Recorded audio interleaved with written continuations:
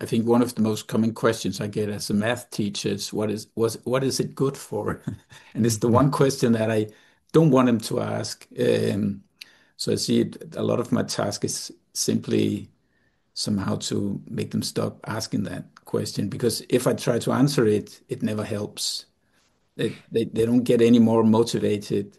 And actually, I think that where I stir most motivation in my students is actually when I start talking about some of the paradoxes uh, surrounding the concept of infinity, things like Hilbert's Hotel or Cantor's uh, analysis of transfinite numbers and things like that.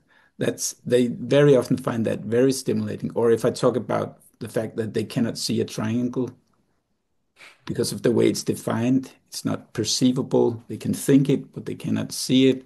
So when I put these kind of say paradoxes in front of them, I, I can feel they are stimulated and and and they are uh, much more than if I try to explain them what math is good for.